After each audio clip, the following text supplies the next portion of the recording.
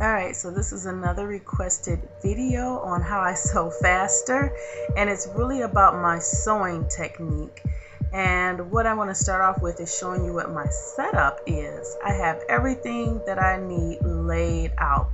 I have my weaving cap on my foam head and as you will see the type of wig cap that I use is like the mesh weaving cap for wig making and I have my needles, my thread. The thread that I use is actually a nylon thread, well, a cotton thread. You can use a nylon thread, which might feel a lot better to use. And then I have about 13 needles already threaded. Um, I'll have a link in the description box as to where you can get this many needles just to get you started, but you want to have them already pre-threaded. And you might need 20 of them instead of 13. But this is what my entire setup looks like. Now, before you get started, you want to make sure you know which closure you're going to be using. If you're going to be using a lace closure, a silk-based closure, you want to put those closures on first. But if you're going to be using a circular closure, you want to put the cap on Find the center of your head or where you want it placed and then apply or install that last.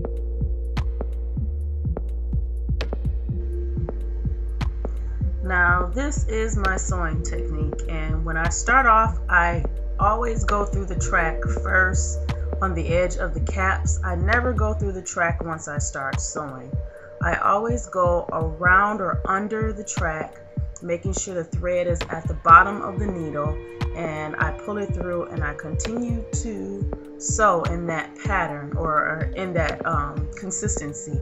And this um, sewing technique is called a blanket stitch and in a second you should see the diagram of what that blanket stitch looks like and how the pattern or the consistency of sewing is done. What you want to do is just pull your thread in the direction that you are sewing.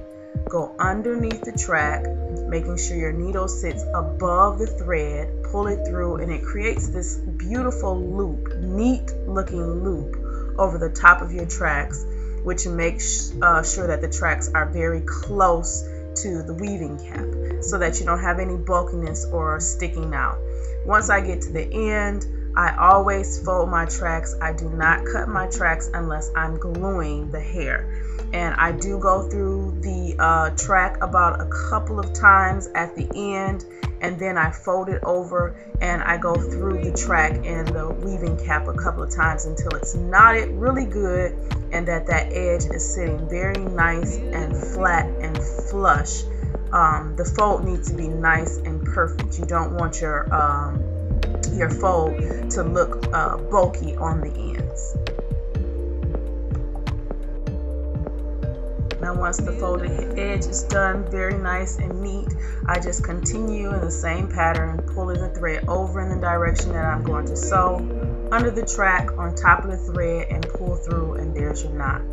Now this part is for those of you who are left-handed. I am not a fast sewer on my left side, but I thought it would be a good idea to just show you what it looks like to actually sew using your left hand if you are a left hand lead. Same thing, pull the thread in the direction that you're sewing, under the track, on top of the thread, pull through, and there's your blanket stitch loop.